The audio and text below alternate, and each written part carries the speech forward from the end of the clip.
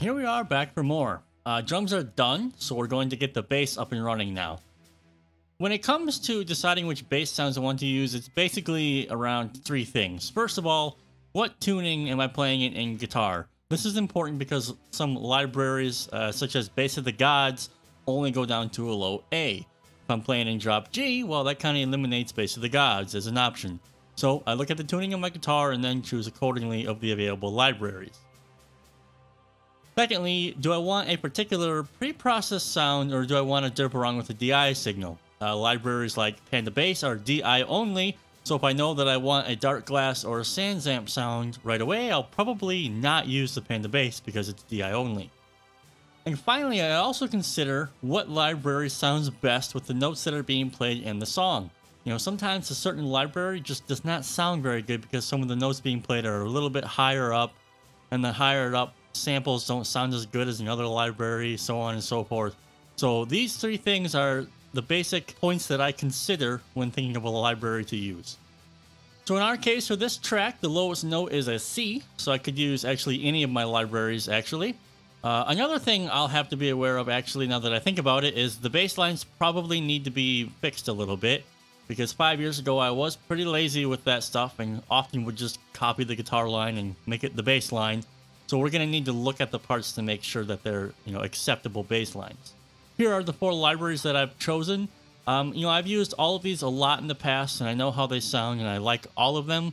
So of these four, we're gonna now demo the song and see which one, uh, you know, that I like the most. Well, I suppose it shouldn't be a surprise. Uh, I'm gonna go with the Bass of the Gods instrument on this one. I reviewed this library all the way, uh, I think it's October of last year, and it's easily one of the best ones out there. I didn't quite like how the Metal Massive bass was sounding in the higher notes. I didn't feel like derping around with the DI, although the Panda bass, the Panda bass did sound really good. I mean, as far as the Colossal bass one, you know, this time I just wasn't digging the sound. So, um, I mean, I reviewed it and it's awesome, but for this particular song, I wasn't really feeling it. So let's delete these extra ones that we don't need and start fixing the bass parts. And now, by what I mean of fixing the bass parts, is I'm just gonna go through the song, make teeny changes to make the sound, uh, bass a bit more realistic, and so it's not playing exactly along with the guitar part. Great, our bass is tweaked, ready to be bounced out, and before that, yes, you guessed it, we double check to ensure everything is good. You know what they say, check twice, bounce once. Alright, here we are, we're good to go. So we do the same thing we did with the drums, just select track.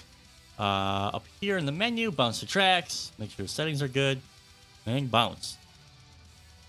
Now we can get rid of this Kontakt instrument. We don't need it. And we can move this MIDI file to the archive folder.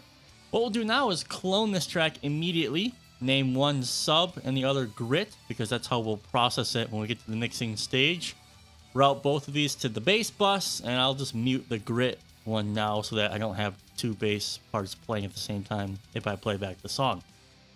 And that's it, the bass is done. Now the fun begins because in the next few videos, we're going to be recording guitars.